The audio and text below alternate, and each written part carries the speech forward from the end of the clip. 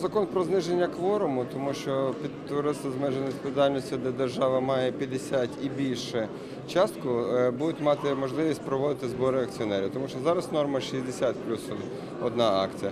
Це е, ви пригадуєте, ми це вже робили по акціонерних товариствах, коли не- щоб державні там, де держава має більше 50%, щоб була можливість проводити збори акціонерів. Так само це розповсюджується зараз. Ми тоді я говорив, що треба зробити для всіх е, форм господарських товариств. Ну не послухались тоді та спішка, скандали ці всі.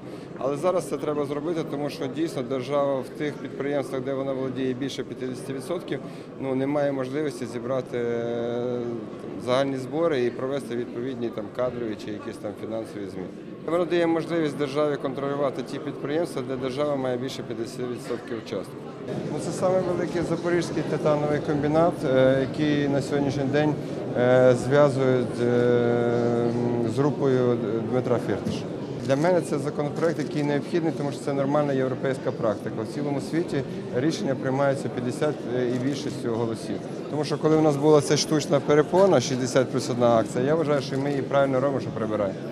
Але прибрати її тільки в одному випадку, я тоді говорив, що треба було зробити, щоб цей закон розповсюджувався на всіх. Але його назвали законом про Укрнафту, проти Укрнафти. Тому цей закон так само зараз можна назвати законом проти там. Той був проти Коломойського, цей був проти Фетиша. Це неправильно. Закон повинен бути як закон. Він повинен працювати і він повинен наносити користь і державі, і приватному сектору економіки.